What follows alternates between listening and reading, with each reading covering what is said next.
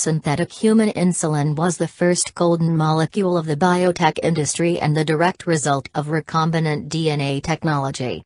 Currently, millions of diabetics worldwide use synthetic insulin to regulate their blood sugar levels. Synthetic insulin is made in both bacteria and yeast. In order to get bacteria to make insulin, a number of factors need to be considered. Genes in eukaryotes have introns.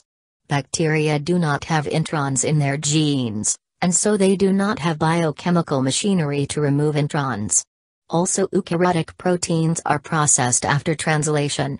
Insulin is first translated into preproinsulin, which is 108 amino acid long. First 24 amino acids are signal protein, which leads preproinsulin out of cell. It is cleaved off leaving proinsulin in pancreas, for further processing.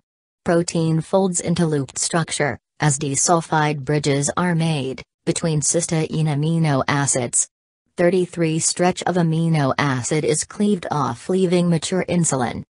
In order to get bacteria to make insulin, first DNA is made based on protein sequence of two insulin chains. A and B these DNA fragments are the inserted into plasmids.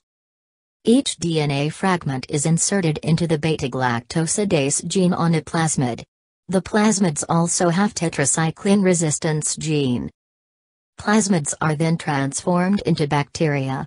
Tetracycline is added to kill off any untransformed bacteria.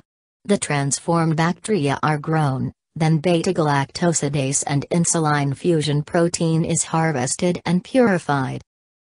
The beta-galactosidase part of the protein is cleaved off and discarded.